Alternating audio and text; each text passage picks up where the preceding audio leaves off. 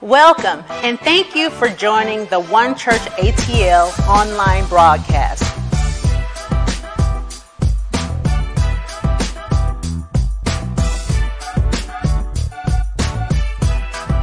We continue to be actively involved in spreading the gospel of Jesus Christ. Through your faithful giving, we continue to be able to support multiple entities such as our law enforcement, the homeless, and families impacted by COVID 19.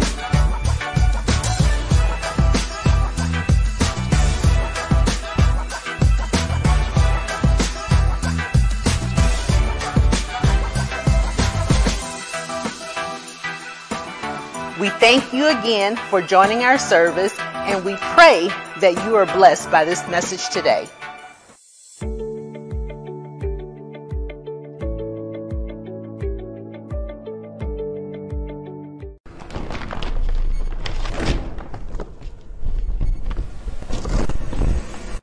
Right, good morning. Good morning, everyone. I'm so glad to have you all here today. Um, welcome to One Church ATL. My name is Minister JT. And um, today I want to talk to you guys about a few things. Uh, it is the new year, so I do want to say Happy New Year to everyone. We are coming up on the end of January, and I'm just so thankful to have the opportunity to be of service to God today. Um, I do want to continue on with the series of Battle Ready 2021. Uh, we've heard two phenomenal messages from both of our senior pastors. Uh, Pastor Bell taught us how to be on the offense when getting ready to go into battle, while Pastor Rod followed him up with knowing your role, you know, which is are two important things that you need to know when going into battle. So today we just want to continue on with that series and I want to get this message started. So we'll start off with the scripture. Um, and as we read that, I'll ask that you open your Bible or your handheld device and open on your Bible app and let's get ready to dive into this word. So the scripture reads, I'll be reading from Numbers 14, 1 through 9, uh, the NLT version. And the scripture reads, Then the whole community began weeping aloud, and they cried all night. Their voices rose in great chorus of protest against Moses and Aaron. Only if we had died in Egypt or even here in the wilderness, they complained. Why is the Lord taking us to this country only to have us die in battle? Our wives and our little ones will be carried off as plunder. Wouldn't it be better for us to return to Egypt? Then they plotted among themselves, let's choose a new leader and go back to Egypt. Then Moses and Aaron fell face down on the ground before the whole community of Israel two of the men who explored the land, Joshua, son of Nun, and Caleb, son of Jephunneh, tore their clothing. They said to all the people of Israel, The land we traveled through and explored is a wonderful land. And if the Lord is pleased with us, he will bring us safely into that land and give it to us. It is a rich land flowing with milk and honey. Do not rebel against the Lord and do not be afraid of the people of the land. They are helpless prey to us. They have no protection, but the Lord is with us. Do not be afraid of them. All right, all right. Um, now let us pray. Father, we thank you, God, for bringing us here today to hear your word, God, as you prepare us to go into a new year 2021. God, I ask that you be with us, God, that you walk with us, that you're constantly talking to us, God, preparing us for what's ahead, Lord. I ask that you put your hands over this church, continue to bless One Church ATL and its many members and families, God. Continue to be the shining light that we need in a time of darkness, God. Let this extension of Zion represent you, God, to the fullest. I thank you for just being with us, God, for allowing us to say that we know you, God. We love you, Lord, and we honor you. It is in your name we pray. Amen. Amen. Amen. Again, I want to say thank you for joining us this morning uh, here at One Church ATL. Um, let's. I want to talk to you guys about what's transitioning from 2020 to 2021. We've, we've fought a lot of battles. We've had a, a lot of things going on over this past year and into the new year. I mean, we've, we've had a pandemic that's spread all over our country. Many people are sick right now, fighting for their lives, whether they're in the hospital, connected to a respirator machine, trying to just fight to breathe, or you have some folks who are locked up, quarantined into their own home. They're isolated from everyone. And the only thing they want to do is be around their families. I mean, there's a lot going on. And, you know, we, we just witnessed uh, a, a scene of a violent act on our, our nation's capital. Uh, people are just expressing themselves in so many different ways, and there's so many things going on that people are fighting against. Everybody is, is fighting for a purpose or fighting for a cause or, or fighting for just for their own reasons. And so today I want to just make sure that we are ready, that mentally we are prepared to go into battle, that we know that we have a chance to win this war. Amen. Amen. So the title of today's message is A Fighting Chance. A fighting chance. And what is a fighting chance? Well, by definition, a, a fighting chance is the possibility of success if great effort is made. It is the possibility of success if great effort is made. In another text, it says a small possibility to succeed or overcome a situation. Well, in other words, uh, I decided to just mesh them together. And what I found is that it is the possibility to succeed or overcome a situation if great effort is made.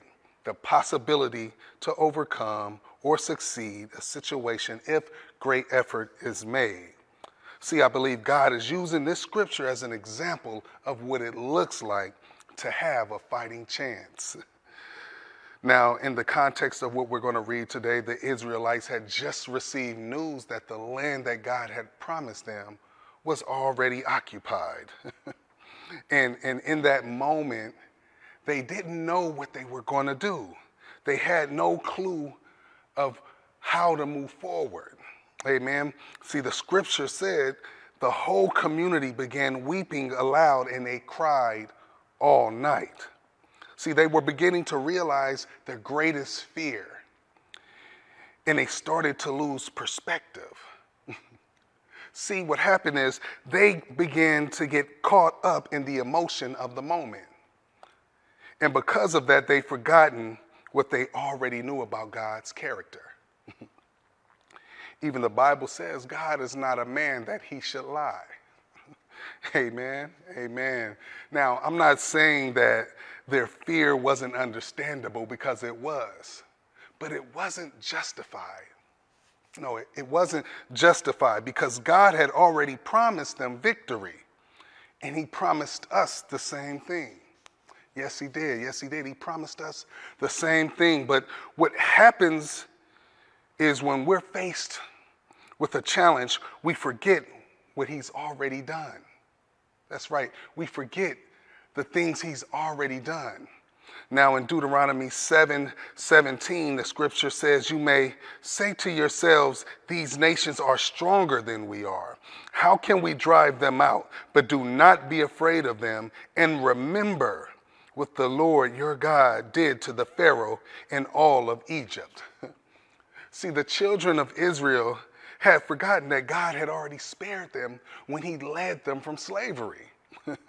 See, He guided them through the wilderness and led them all the way up to the edge of the promised land. See, he protected them, he fed them, he fulfilled every promise. but yet, when they were encouraged to take that next step of faith into the promised land, they refused. Even after they witnessed so many miracles, why would they stop trusting God? Why would they refuse to enter the promised land when that was the goal? Why? Because they were afraid. That's right, they were afraid. And, and when we're afraid, we often do the same thing. We trust God with the smaller issues, but then we doubt his abilities to take care of the big situations, to the, the, the tough decisions, the, the hard problems. See, don't stop trusting God right when you're ready to reach your goal. if he's brought you this far, he's, he's not going to let you down now. No, he's not going to let you down now. See, the Bible says the Lord Himself goes before you and He will be with you and He will never leave you nor forsake you. Now, see, I'm, I'm trying to drive something home right here. I'm trying, to, I'm trying to get to a place. But what I need you to understand is no matter how big the situation may be, our God is much bigger. Amen. Amen. You have to go into every battle knowing that you have a fighting chance. And, and this brings me to my burning question Have you already given up? Have you given up on a God that will never give up on you? Have you already thrown in the towel, even though the fight has not begun? Are you already waving the white flag when you're still getting prepared to go into battle? Hmm. now, I know some battles are just tough to deal with. I know, I know they are. Some of y'all have been fighting battles your entire life and you're tired. you, you, just want to quit, right? And, and, and you just don't know if you have enough fight left in you. Well, let me tell you, just like the Israelites, we sometimes have to face overwhelming oppositions, whether it's at work, uh, at school, sometimes even at home. You can feel overwhelmed and helpless. Amen. Amen. But, but just like God filled the Israelites with confidence by reminding them that he was with them and that he had already saved them, we can, we can do the same thing and feel secure knowing that God is able to overcome even the most difficult situations in our lives. Look, some days I wake up and, and I don't know what I'm going to do. I don't know how I'm going to make it through the next 24 hours. But I know as long as I wake up, I still have a chance. I know as long as I'm breathing, I still have a chance. As long as I can stand up, I still have a chance. As long as my heart is still beating, I still have a chance. And, and see, the children of Israel had, they had already given up. They had pretty much packed their bags and was headed back to Egypt. They was ready to go. They had no plans of moving forward. They were ready to head back to where God had already saved them from. Amen, amen. But see, Joshua and Caleb saw things different. They knew that they had a fighting chance. They knew that as long as God was with them, who could be against them? Amen, amen. See, the scripture said, if the Lord is pleased with us, he will lead us into the land and give it to us but only if we're obedient. Only if we're obedient. See, the scripture goes on to say, do not rebel against the Lord. And when the Israelites refused to go forward into the land that God had promised them, that was a sign of disobedience, an act of rebellion. So if God tells you to move forward and you refuse to take that leap of faith out of fear, you're rebelling against Him. See, when you're going through something and you having a tough decision to make, you can't just go to anybody. You can't just talk to everyone. See, there's some people out there that have already failed in their own lives, and, and so they want to take you, they want to make sure that you don't, you're not able to manifest your own dreams or able to achieve your own goals. Y'all know who I'm talking about. Those people that think that, well, if it didn't work for me, there's no way it's going to work for you. Right? You know what I'm talking about. Y'all know them haters, right? Y'all know the term they say, misery loves company. Well, you need to stay away from misery. Amen. Amen. See, let me remind y'all Moses sent out a group of people. Matter of fact, not just a group of people, they were a group of leaders. He sent them out to the land to spy and report. Yet when they came back, there was two different reports. Two different reports. See, you had the 10 who were focused on the size of the people occupying the land, and you had the two who were focused on the goodness of the land. Amen. Amen. So so follow with me. Follow with me. So you had the 10 that focused on themselves and the two that focused on God. Isn't that something? You had the 10, the majority saw the land, they saw the people, and, and they and they immediately fell into fear. But you saw had the two who saw the land and the people, but all they could focus on is what God had promised them. Amen, amen. Because see, the two saw the same thing that the 10, they saw the exact same thing that the 10 saw, but they recognized God in the situation. See, and, and we have to recognize God in every single one of our situations. Even if the situation seems out of control, even if it feels like it's too much for you to bear. Don't give up. Because sometimes that's exactly where God wants you to be. Listen, many times God starts training you. He trains you in trouble. He trains you from a place of hardship. yeah, he could have swept through the land and removed every living thing. He could have easily swept through the land and removed every living thing. But the Israelites needed to be reminded of how great God is and how far He had already brought them. And He continues to remind us every day of our lives. He continued to remind us every day of our lives of how far He's brought us. but yet, we get so caught up on what He's done that we forget what He can do. That's right. We, we're so caught up on what he's done that we forget what he can do. See, we, we can't win the battle in front of us if we're focused on what was left behind. Let me say that again. You can't win the battle in front of you if you're focused on what was left behind.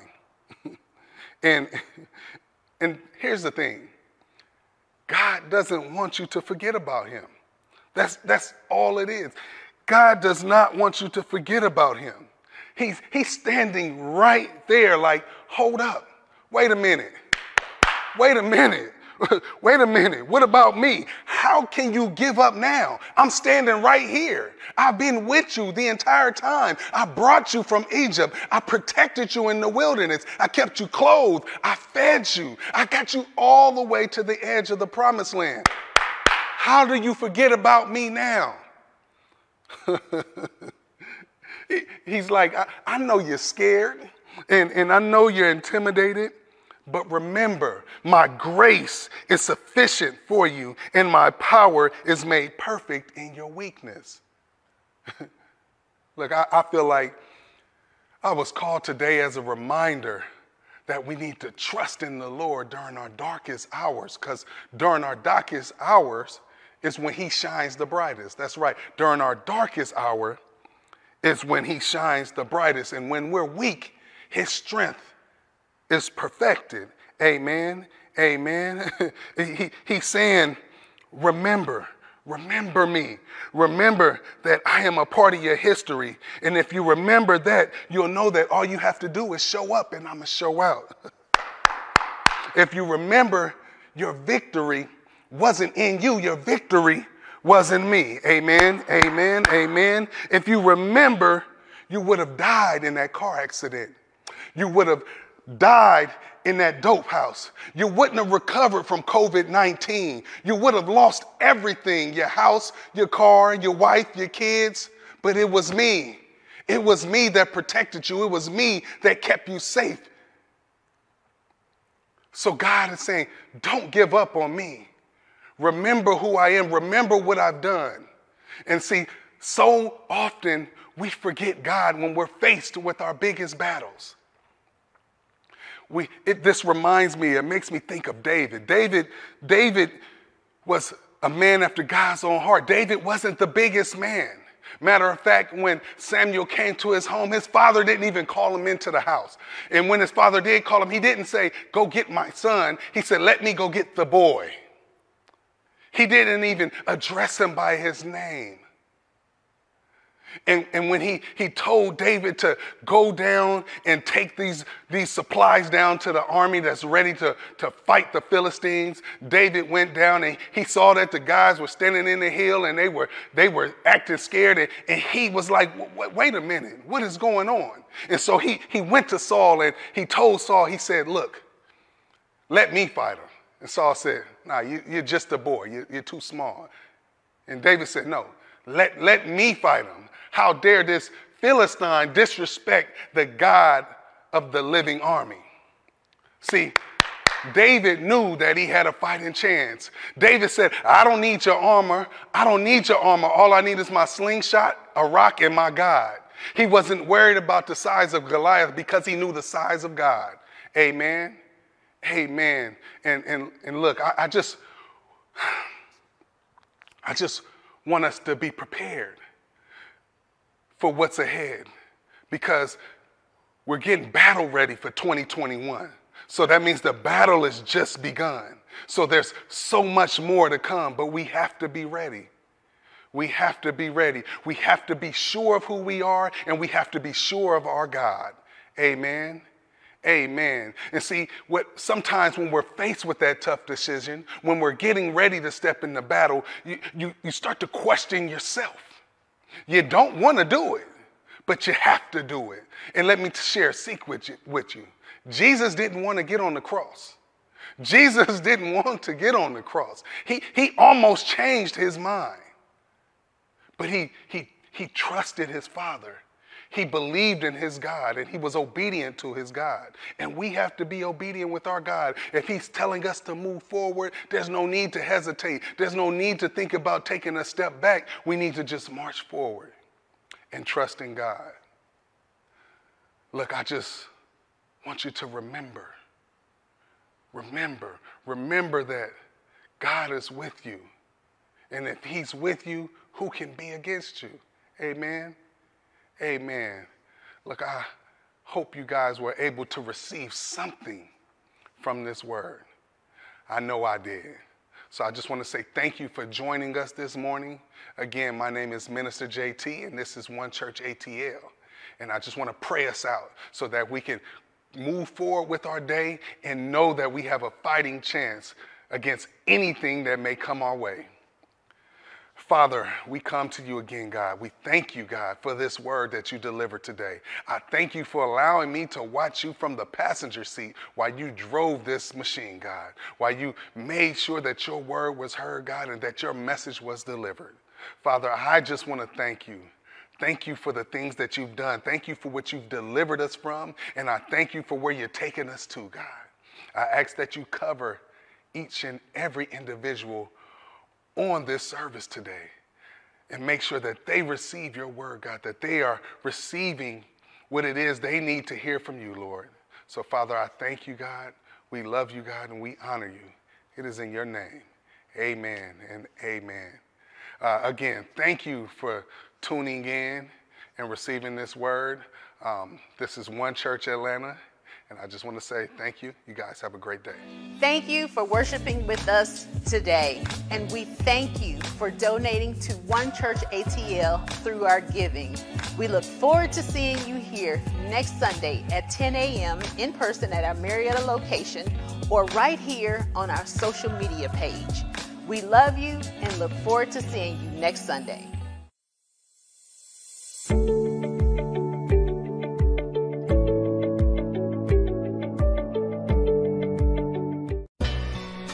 You for tuning in to our live One Church ATL broadcast. One Church ATL continues to be actively involved with spreading the gospel and impacting lives in our local community.